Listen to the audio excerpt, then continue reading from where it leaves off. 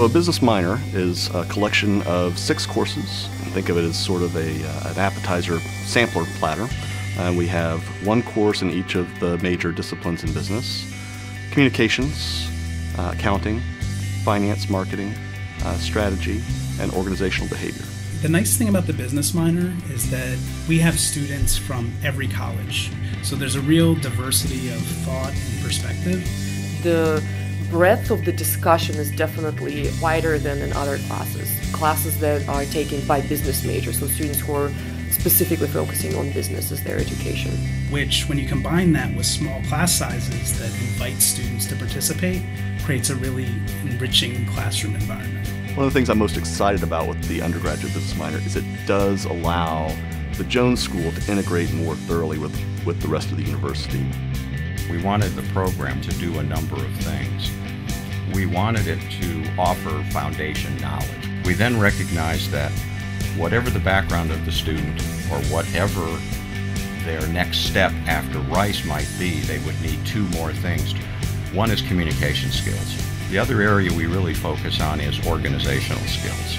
A lot of our students go on to do um, managerial consulting or uh, go to work for investment banks and others go on to do the engineering that they've trained themselves for or graduate school. What was surprising to me was the fact that some students they become so interested. They thought they were just doing like a minor, it's like, yeah, it looks good on the CV. But at least a few of them become so interested that they then go on to do a PhD in organizational behavior or marketing. Another thing that the business minor does uh, is it's good preparatory work for getting an MBA. Courses are very similar in the level of rigor, different in the approach. So the undergraduates typically don't have years of work experience as our MBAs do. And so the pedagogy has to move away from some of the case study methods that we might do in the MBA level finance course and instead uh, moves more toward uh, lectures and projects. Students in the business minor are getting a lot of the same faculty that they might get if they were going to take an MBA here.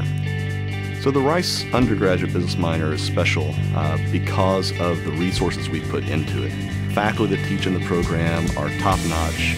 We have multiple faculty in the program who are routinely been the finalists for the university level teaching awards, and we take our teaching very seriously here at Rice, uh, from the undergraduate level all the way up through our PhDs.